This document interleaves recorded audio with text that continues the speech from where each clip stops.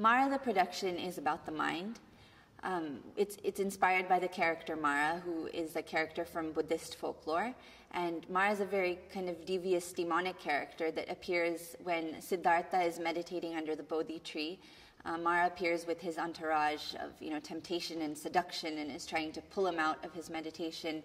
And um, it's in this moment when Siddhartha touches the ground with his hand and looks at Mara and says, With the earth as my witness, I now can officially say that I am no longer under your control.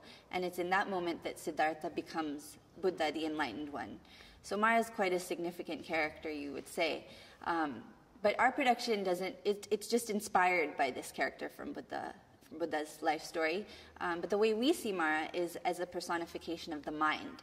Um, and, and, we've created an original script based on this idea. It also holds very central to it the idea that the world that you perceive around you and your reaction to it, your feelings toward it, relationships, people, things, everything that you perceive is um, a projection of your mind. So everything is a part of you, and you sort of create it um, spontaneously.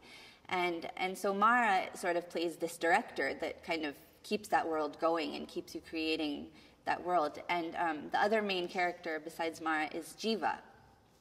Jiva in Sanskrit um, kind of loosely translates to living entity. And um, what jiva symbolizes is sort of the empirical self, or the self that identifies with the body and the external sense organs and the intellect and the ego.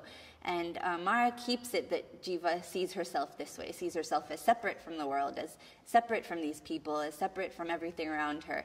And um, what we see in this production is sort of jiva's journey. She feels this constant pulling to something much larger within her, to this kind of all encompassing consciousness or radiance that she feels within her and that calls her very intuitively.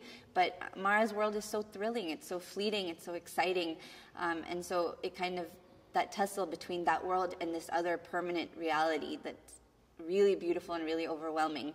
Um, her struggle between the two in her journey um, I won't tell you how it finishes, but her journey between the two is kind of what this production is all about. And Jiva, we can say, coming back to Buddha, Jiva is perhaps Buddha before he became the enlightened one, um, but Jiva is also everybody, I think, all of us. So it's, it's quite an interesting story because it has a lot of self introspection in it.